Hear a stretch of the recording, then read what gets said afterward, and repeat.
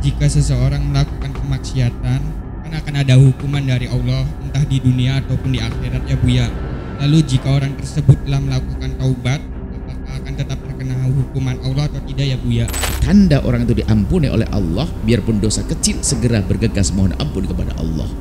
Tapi yang ngentengin ini ah, karena Allah Maha Pengampun. Nah ini ngentengin dosa nggak diampuni orang begitu. Kan Allah Maha Pengampun. Kalau bukan karena dosa kita, apa arti pengampunan Allah? Ente kurang ajar.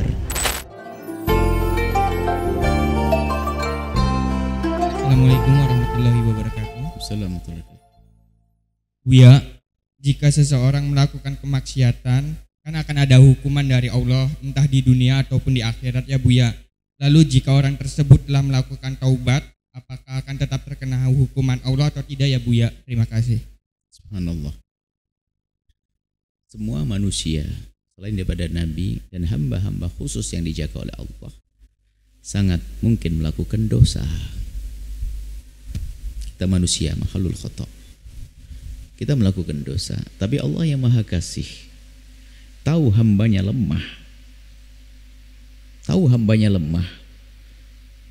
Banyak yang sering kepleset dalam maksiat. Boleh maksiat kecil, maksiat gede. Tapi Allah membuka pintu untuk menuju ridhonya yaitu pintu namanya pintu taubat.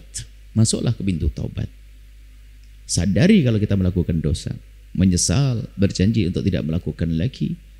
Dengan tetesan air mata ucapkan astagfirullahaladzim. Kalau sudah kita memohon ampun dengan serius, tobat dengan serius, hatta ibu minat dambi kaman la dambalah. Orang bertobat dari dosa seperti orang tidak pernah punya dosa.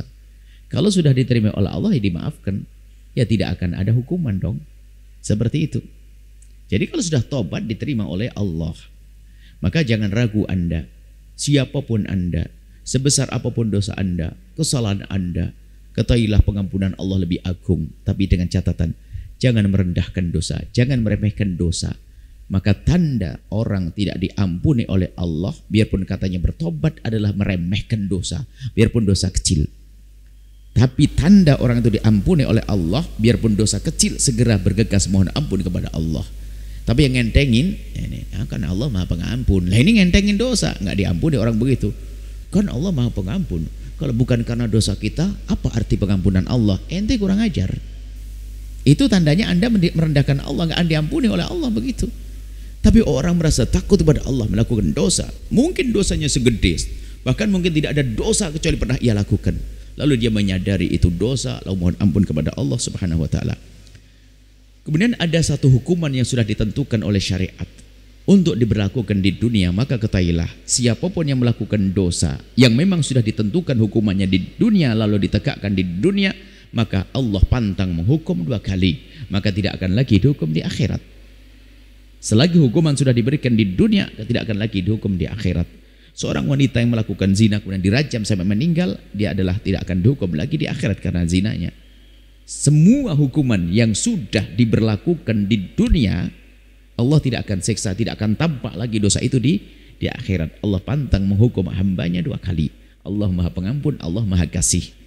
Biarpun nanti ada sebagian dosa yang tidak perlu kita minta hukumannya di dunia. Seperti mohon maaf, ini ada ilmunya.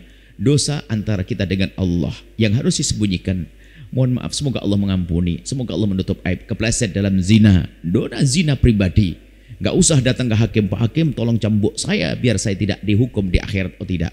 Cukup sembunyikan urusanmu dengan Allah. Menangislah, mengadu, ketahuilah Allah maha pengampun. Dan tanda Allah mengampunimu adalah engkau tidak akan senang bercerita kepada siapa pun dari hamba Allah. Anda sembunyikan cukup Anda adukan kepada Allah dengan tetesan air mata, maka Allah mengampuni. Selesai. Allah Maha Kasih. Allahu a'lam bissawab. Setelah menyaksikan video ini, jangan lupa bersolawat kepada baginda Nabi Muhammad. Sallu ala Nabi Muhammad. Allahumma sholli alaihi wa ala alihi wa sahbihi.